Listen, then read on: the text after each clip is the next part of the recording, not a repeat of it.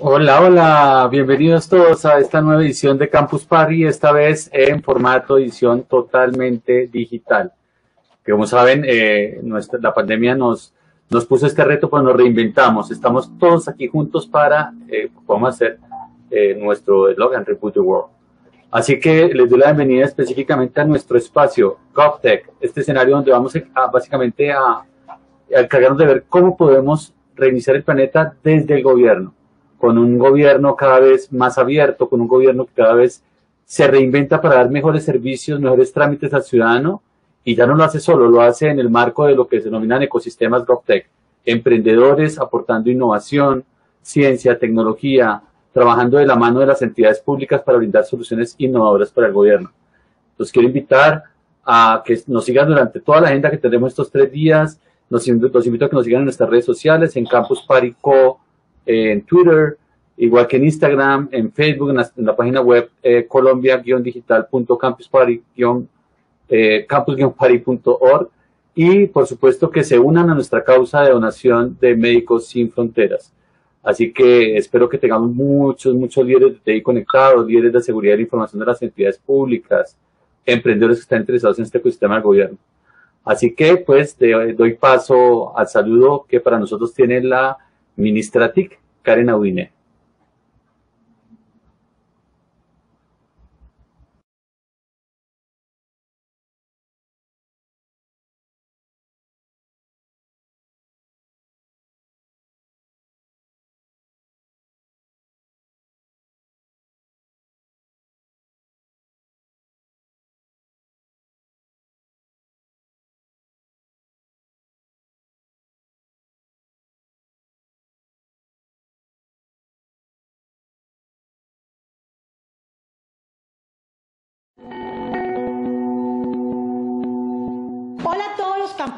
Les envío un gran saludo y espero que puedan disfrutar mucho de este Campus Party 2020. Uno de nuestros grandes retos que tenemos como gobierno nacional, encabezado por nuestro presidente Iván Duque, y obviamente este ministerio es acelerar la transformación digital de los sectores como el comercio, la salud, la educación y el trabajo. Nuestro compromiso es conectarnos cada vez más con el sector público, con la gente, llevarle los servicios hasta la puerta de su casa, que la gente sienta que nosotros estamos ahí con ellos, porque no hay nada más importante que escucharlos, saber sus necesidades y poder resolver esas necesidades, porque aquí estamos cambiando la calidad de vida de todos ustedes. Antes las personas tenían que dirigirse hacia nuestras instalaciones físicas en todas las entidades públicas. Y a pesar de que todavía se hace, nos ha tocado hacer una transformación digital y mejorar esa información pública para que sea transparente, para que nuestros proveedores y todos los colombianos puedan hacer los trámites mucho más ágiles y efectivos y poder lograr una interacción más sencilla, pero cada vez más satisfactoria con las entidades públicas.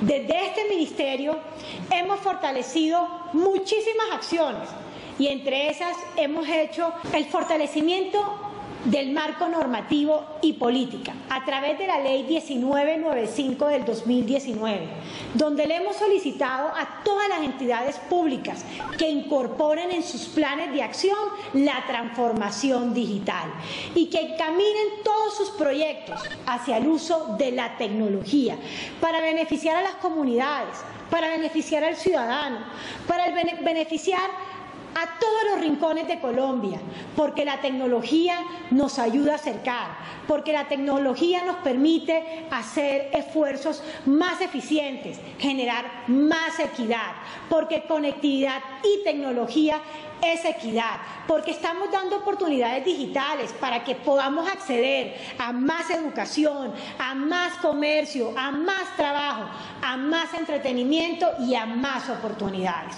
También hablamos del COMPES 3975, que es la política de transformación digital e inteligencia artificial, el cual cuenta con unas inversiones aproximadas de 124 mil millones de pesos hasta el 2022. De las inversiones más grandes que se han hecho en los últimos años para generar transformación, pero sobre todo para promover la competitividad de este país y la eficiencia del sector público con tres acciones importantes. La primera, disminuir las barreras que impiden el uso de la tecnología digital en el sector público. La segunda, crear las condiciones para la innovación digital en el sector.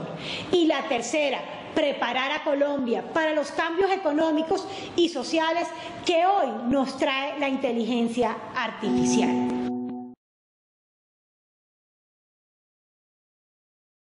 Transformación de los servicios del Estado. ¿Para qué? Para transformar la vida de cada uno de nosotros.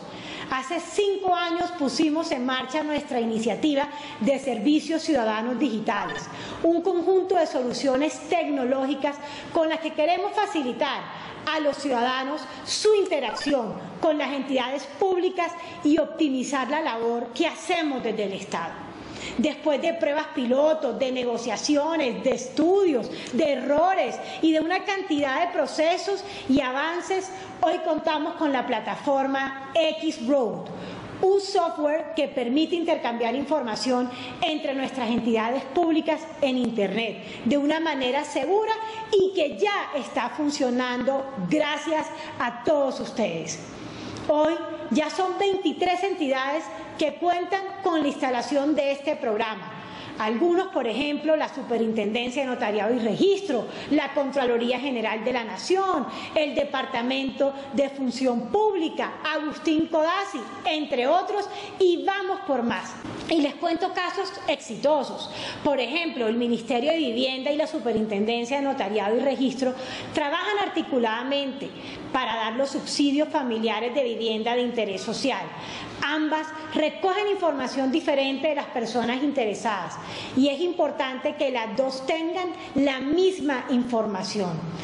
Antes el tiempo que se demoraban en realizar el trámite para responder la solicitud a los colombianos era 180 días.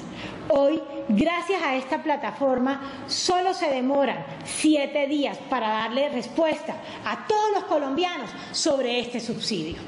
Otra de las iniciativas de transformación del servicio del Estado es el portal único del Estado colombiano, el gov.co, el cual queremos que cada vez sea más útil para este sector, para responder a las necesidades de todos nosotros como una herramienta que sirva para agilizar, para facilitar, para generar efectividad en todos los procesos administrativos.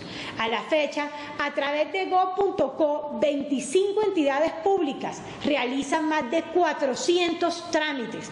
Eso inclusive se nos vuelve la vida mucho más fácil, mucho más eficiente y adicionalmente los servicios de interés de todos los colombianos, entre ellas la Presidencia de la República, los ministerios, la Superintendencia, el Departamento de Planeación, la Policía, entre otros, y como digo yo, vamos por más. Con go.co promoveremos la interacción digital para que la gente haga sus trámites de manera virtual, especialmente en este momento, porque estamos protegiendo la vida de todos los colombianos. Y quiero cerrar diciéndoles, seguiremos transformando este sector para darle más oportunidades a los colombianos, para hacer un sector mucho más eficiente, para hacer un sector donde podamos responderle y estemos a la altura de las necesidades de este país. Muchísimas gracias y espero que durante estos días disfruten este gran Campus Party 2020.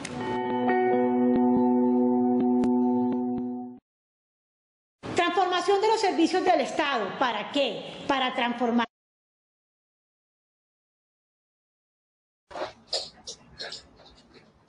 Bueno, muy bien, hemos visto el mensaje de la señora ministra TIC, Karen Audinen, eh, y entonces ahora vamos a ver unos videos institucionales y quiero que estén muy atentos porque a las dos y media tenemos nuestra primera charla en la agenda académica de GovTech.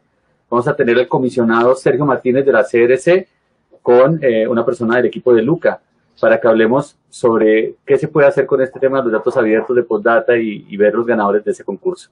Va a ser un tema muy interesante para que en todas las entidades públicas podamos seguir ese ejemplo y que podamos hacer mucho más con nuestros datos. Nos vemos en un momento.